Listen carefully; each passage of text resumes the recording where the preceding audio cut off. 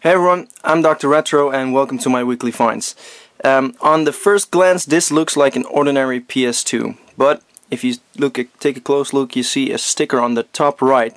Uh, the letters are too small, can't get the camera to focus on that, but it says that this is a limited edition model with a special paint coating and if you scratch any or break any of the parts they get replaced with normal black PS2 parts, so be extra careful with this. So what is this? This is the Automobile Collection PlayStation 2 and then the Snow White version. There's a sticker over there, you can see that. Snow White. Um, as far as I know, only 600 of these got released in Europe and there's uh, either three or six color variants out there, but there's a topic on the PlayStationCollecting.com forum about that. If you want to know more about these, check that out. So this one is still 100% complete in the box. Comes with two white controllers and of course the white PlayStation 2. I'm gonna give you a look inside to see how it looks. Still needs a little bit of cleaning because I only just got it in, but this is how it looks. It's a fine paint co co coating uh, automobile collection. That's automotive paint or something like that. Not 100% sure, but these are really rare and these are really nice. They look great and I'm not sure yet if I'm gonna just keep it for display or take it in use but because everything is black that I have but um yeah we'll see about that later so first some stuff I'm keeping for my collection I bought some manuals on the Dutch auction site, and uh, it's Hagane and um, Sunset Riders, two rare games. Uh, don't have the games yet, but in case I find a boxed copy, I can now complete those. The Chaos Engine for the Mega Drive. It's by the Bitmap Brothers, uh, the same guys who made Z, and uh, looks to be quite a cool game. Nanostray on the DS, cool shoot 'em up game, and Virtual Bart for the Sega Mega Drive as well. Quite a uncommon or even rare game. It's missing the manual, so I'm still looking for that. Then a game I'm not keeping, it's for a friend of mine, I ordered it for a friend, but I just wanted to show you. It's a really rare SNES cartridge, Whirlo. It's considered at least top 5 of the rare PAL SNES games. Um, gonna give it a spin to see what kind of game it is and then send it on to him. A Saturn game for my collection, Galactic Attack. It's a cool shoot 'em up, at least it looks to be a cool shoot 'em up. I love shoot 'em up, so uh, this one I'm keeping. Then a really big box. And this is the Conan, Age of Conan, the MMORPG uh, limited edition. It has a sticker here. Get a zoom on that.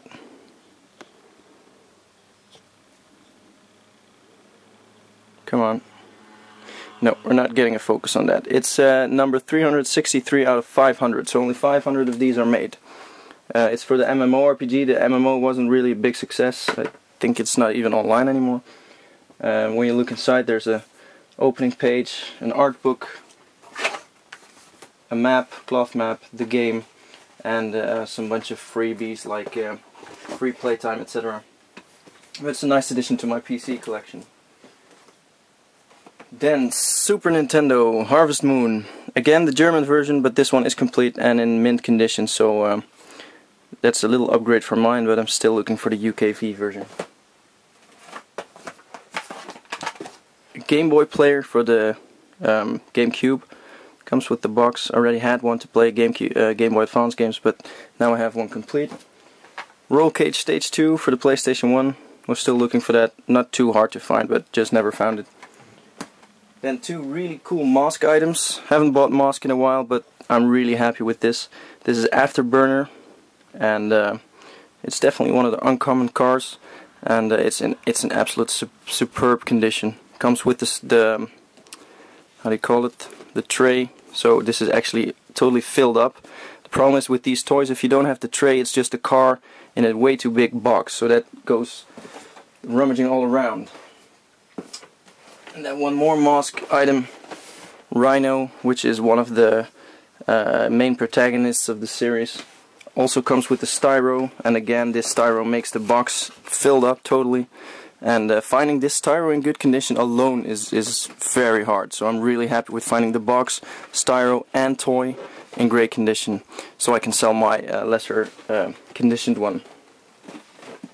Another SNES game Secret of Evermore, and this is the German only big box version. Comes with a guide like all the other big box games. As you can see over here, big book. And um, yeah, it's one step to closer to completing my uh, big box collection. But uh, if you if you're interested, there's the Zelda big box, the Zelda Gold Edition, is now on eBay and it's already near a thousand euros. And I still need that, but uh, I don't expect to be getting that anytime in the next 40 years. Last two items I'm keeping. This one is the Jak 2 press kit. You can see the eyes switching. Um, what's in there, I actually don't remember. I had it open though. Comes out kind of hard so taking some time.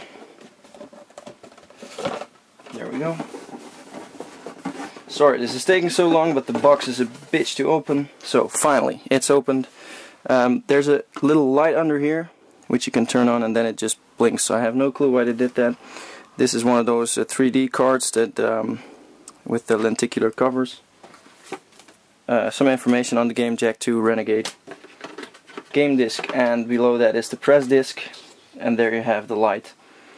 I don't see why they did this, um, yeah, I don't get it, but it's a nice kit. It's not as, yeah, I don't really like it. It's it's too big for too little content in my opinion, but um, I didn't have it, so glad to have it finally. The Jak 1, the Jak and Daxter press kit is a really cool one. It's a wooden, uh, it's a wooden box. I don't have that yet, but uh, there are videos on that on YouTube. And then another press kit, Jak, featuring uh, Ratchet. This is actually for release of Ratchet Gladiator and Jak X, so that's the racing game and the fighting game I believe. And when you pull these sides, it opens and it shows some information. There's a disc over here, and there's a disc over here. So that's two press kit for two games in one. So that was the stuff I'm keeping. Now off to the stuff I will be selling. A really, really, really mint condition Zelda Link to the Past. This one is in superb condition, but it's the German version. And um, in Holland, German versions are worthless, so I'm gonna sell this in Germany. Kirby's Adventure for the NES, not too great condition. Some really strange pirate cartridge for the NES. It's called Video Video Deon I'm not sure what it has on it yet, I haven't tried it, but never saw that before, so that's why I bought it. Metal Gear Solid 3 Snake Eater Promo Edition. Another big box SNES game, Terranigma, came in the same bunch as the other German games. Uh, I already had this, didn't think I had, but when I got it in I was surprised to see I already had a copy. Uh, it's in great condition, also with the guide, etc. This one will be up for sale. And another German game, Mario World 2 Yoshi's Island again in superb condition but again German and it also came with the guide which is unfortunately also in German then two Sega Saturn games Ultimate Mortal Kombat 3 and The Crow. And this one is in a DVD case so it's not the original front but it is original manual and disc. And the last item for this part is still in its original shipping box. And when we open the shipping box we find uh, War of the Monsters PlayStation 2 press kit. If you want to see how this press kit looks on the inside, check out my video on all the press kits from a while back because I already have a copy of this, so this one will be up for sale. It's in great new condition and uh, it's it's a really cool press kit. It's not something really special, but it looks great. And if you're a fan of this uh, these kind of games, there's a really really big poster of uh, of the game inside. So now for the last item of this week, we go outside because it's too big to take inside. Hold up, we're not going outside yet because I have one more game I forgot to show you. Uh, it's an addition to my NES collection and it's quite a rare game and it looks to be quite a good game as well. I love the front, just check out how amazing the artwork is on this one. Zen the Intergalactic Ninja. Uh, it's a Konami game, only was released in Germany and in Scandinavia I believe. Uh, this is the German version and um, it's a really cool addition to my S NES collection, not SNES, NES. Um, yeah, finding this one is hard. This is only the second copy I've seen in the last six, seven years. So when I saw it pop up, I immediately hit the buy it now button. Really happy with this. So now we go outside. The last part of this week's video has to be filmed outside because this is too big to put inside at the moment. Uh, it's an official PSP, PlayStation Portable Display Cabinet. Has a PlayStation logo there on the bottom. Comes with five of these shelves and uh, has some nice detail here. The games thing, you can remove it. So I think it also exists in accessories or uh, consoles, not sure. Uh, this is a light, you saw the power cable, and it's dual-sided. So on the other side it's exactly the same.